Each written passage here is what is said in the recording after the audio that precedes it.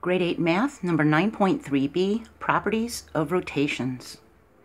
We talked in the last video about what a rotation is and how it's a type of transformation that turns a figure around a given point called the center of rotation. We talked about how the new image will have the same size and shape as the original pre-image, but the orientation changes. And we can rotate a figure by a certain amount of degrees by rotating each vertex the same amount, or we could have a vertex as the center of rotation.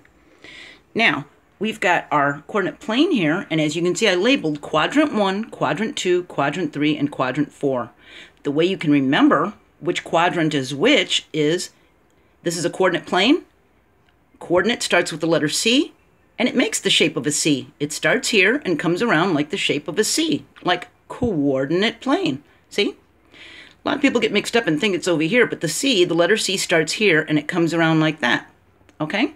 So we've got this trapezoid, and we're going to use the origin 0, 0 as the center of rotation and rotate our trapezoid 180 degrees clockwise.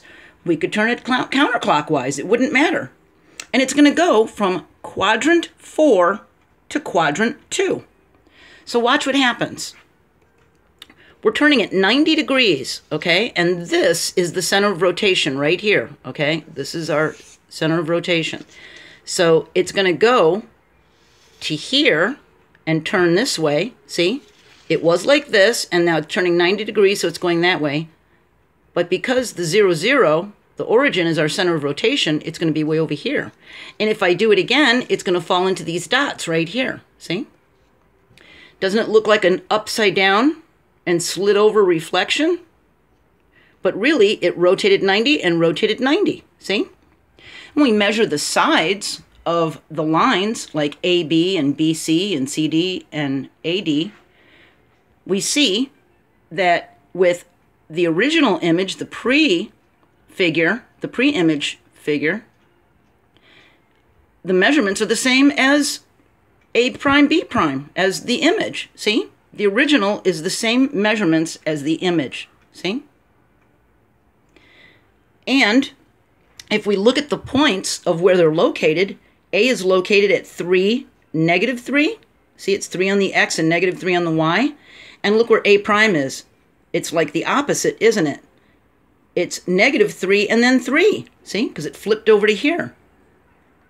So our points, if you look at these points, this went from a positive 7, neg uh, negative 3 to a negative 7, positive 3. See? Because it flipped and flipped.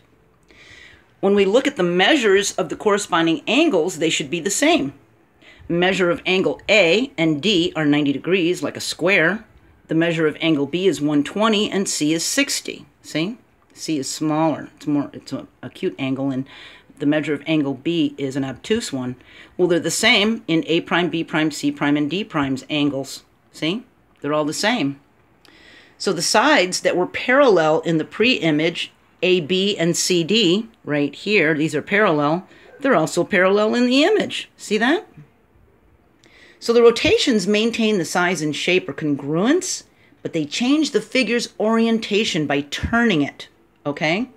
So he's rotating, and his center of rotation is at his belt, and he's rotating as a skater, but his center of rotation is at the top of his head going straight through like that, see? And he's turning around like an ice skater, see? So that's rotation. Those are the properties of rotation. The measurements, the size, the shape should stay the same, it's just its orientation, its position or direction is different. Okay? Remember, that's what orientation means. It's the position or direction of something. It's how it's sitting.